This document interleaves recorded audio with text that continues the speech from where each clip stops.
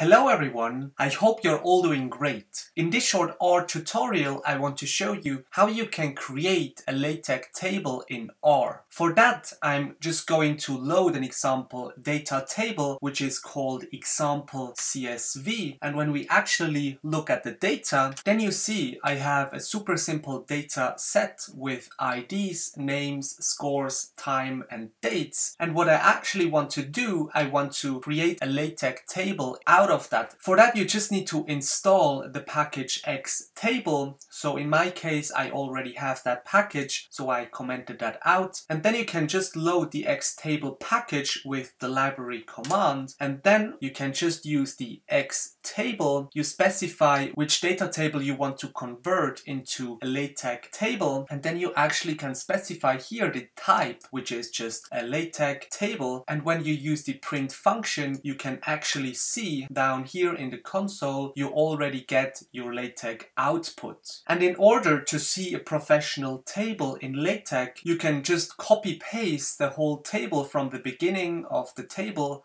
until the end of the table. And now you can just copy that into your project. And in my example I use Overleaf which is an online LaTeX editor. And in this case I just created here a document. And within this document I actually want to get now the table. So you can just paste the LaTeX output into your document. Just make sure you included begin table until end table. And then when you just recompile your project you actually see now you already have a professional table in your LaTeX project. And now you can actually adjust that table, but more on that on later videos. If this video helped in your case, please leave a like and subscribe. Thanks a lot and see you next time.